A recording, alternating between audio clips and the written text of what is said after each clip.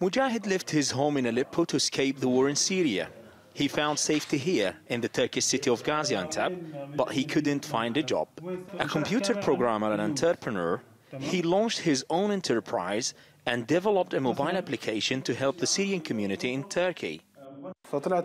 I came up with an idea to create a platform that can help Syrian refugees easily get access to all information they need in the Arabic language.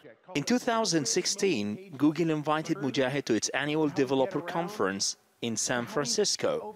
But he says he was denied a visa for the United States because he's a Syrian refugee. I knew that just my personal information will make them refuse my application. You just imagine a guy who was born in Saudi Arabia, grew up in Aleppo, and now married to an Iraqi woman. Mujahid's business is just one of almost 6,000 that have been established by Syrian investors in Turkey.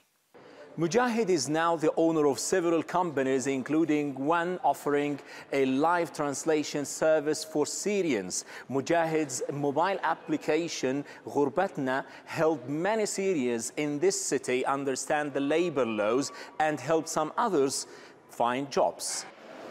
Ahmed, a Syrian refugee and a father of two, was one of those who used the application and found a job in a cafe.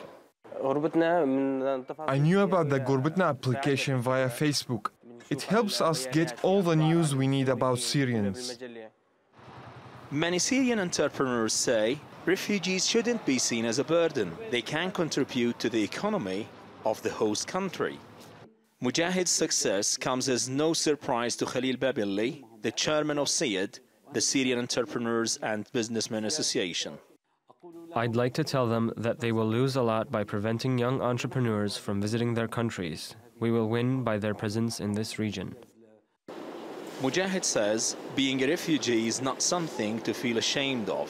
He hopes his story will demonstrate to those who shelter people like him that they're not a burden but an opportunity. Ahmed El Burai, TRT World, Gaziantep, Turkey.